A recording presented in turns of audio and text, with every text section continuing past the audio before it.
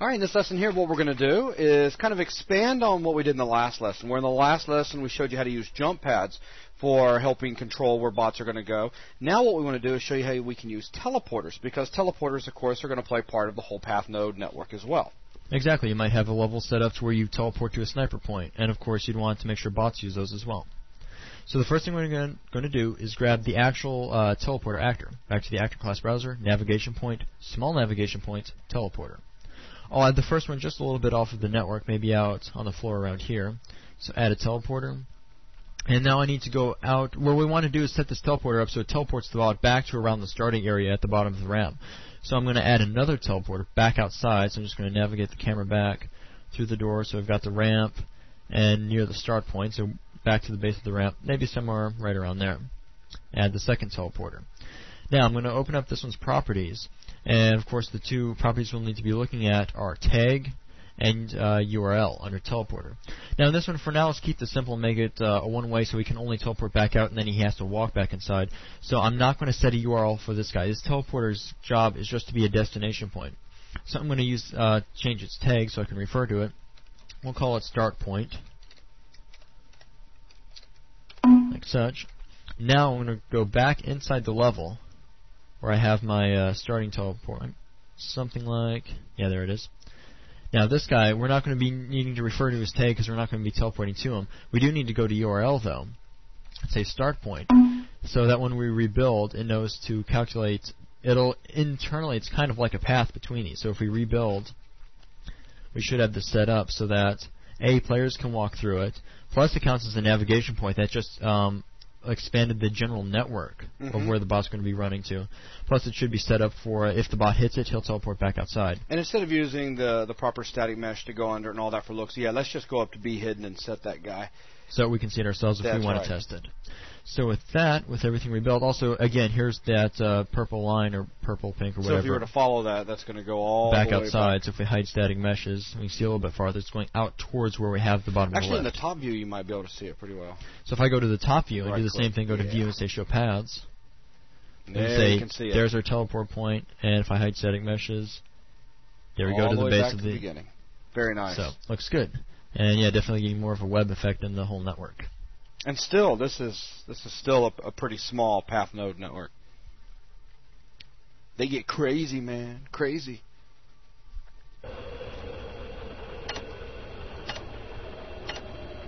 Play. Send this ghost out, add a bot, and view that bot.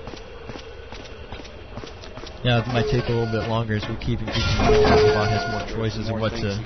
So now I mean you can run all around. You can grab the uh, jump pad. You want? You the teleport? And there we go. Right onto the teleporter. He teleporter. grabs the teleporter. Excellent. Very good. He knew what we wanted. Right on the teleporter. Apparently, teleporter almost seems to take a little bit of priority there. It's like, ooh, teleporter. Runs in. And goes through it again. Ooh, teleporter. You're having a good old time doing this here. It does work really good. Let me see real quick. Just uh, see if the uh, show debug will trace across the uh, teleporter. Cool.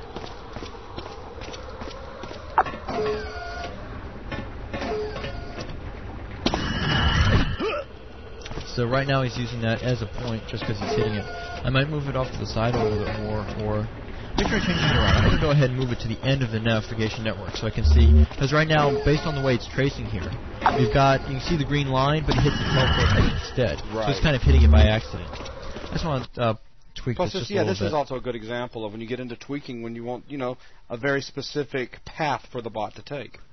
So I'm grab this and it's and this is a definitely a reason you want to rebuild is it still drags all those paths with it as you move it around. So you want to you always want to rebuild before playing so that it recalculates the correct paths and everything. So move them back down. We've drug all these paths over, but when we rebuild, It'll correct all that. because now it says like, oh wait a second, this is the closest path. So that's more of a direct line. We should see at least just for a second, possibly the uh, show debug trace through that. So see how that's running. Okay. Now watch him go for the jump pad instead. options, options, options. He's now getting a lot of options. Play.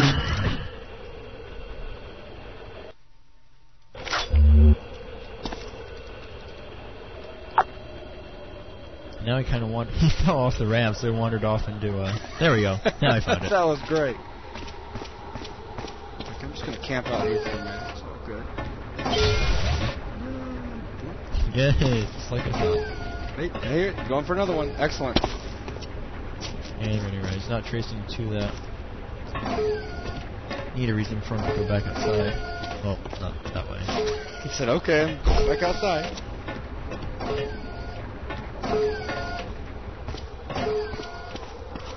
Think for a second here. What would be a good way of making him put a shield near the uh, other point? Maybe the other for it.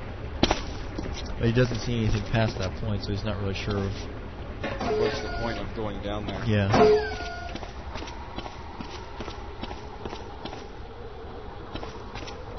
Let's see what we could do. If you want to take just a second, we can move the destination point somewhere else and actually put an item. Like the only way to get to that item is through the good. So I might actually duplicate off the uh, shield charger, move it somewhere else. So let's say, first let's pick a, a new spot for a different shield charger. How about maybe over here on these stairs where he doesn't otherwise go to?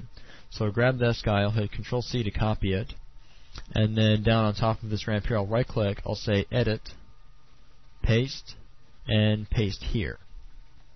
So we've pasted this shield charger in place. Now I want to take the destination teleporter. So let me just use a little line and trace myself back out to where he is. This guy. And might be easier just to cut this one as well. We use do control X and cut that out. And go back over so he teleports near this point, maybe right about here. So I'll say again edit, paste. Move it up just a little so it's not through the floor. Let me see what happens when we rebuild now.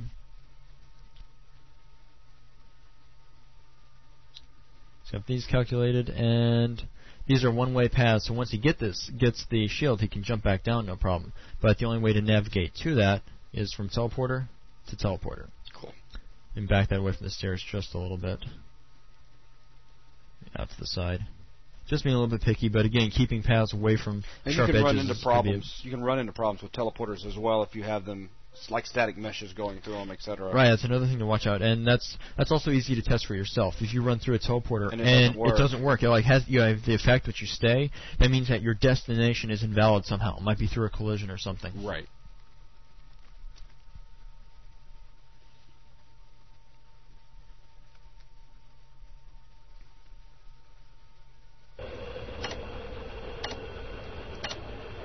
Play. Ghost out again real quick. Pop, to left.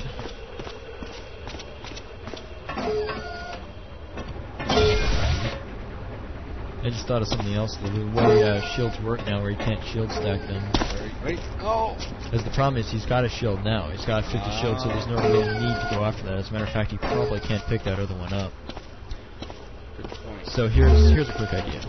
One last tweak. Oh, let me see. I can set the the normal uh, spawn delay back in on the first one. I've edited these uh, shield charges just a little bit. By default, if we look at the properties under uh, pickup base, we have uh, delayed spawn true or false. Let me delay this one, so he won't be able to use this one as a true shield till later. And let me test that out. We didn't move anything around, so we shouldn't need to rebuild.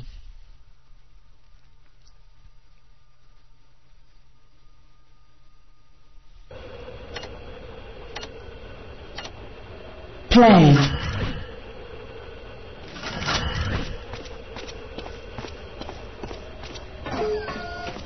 So he he skips that altogether. Oh, all of a sudden now he's interested. Now he's- yeah, so now we can wants now that really shows off how yes he truly is using those teleports connection as a navigation point. He could tell that hmm I really want that shield. Okay, look there's a teleporter connection. Good, He let's go for the Went teleporter. and grabbed the other one as well. It just came in. So now and again now that he's got a more advanced network, he's just going to run around. right. So you can see off in the distance there we've got that uh, damage, which taking a look at shortly. So um, with that, that uh, that pretty much wraps up uh, basic teleporting use. sounds good. Thanks.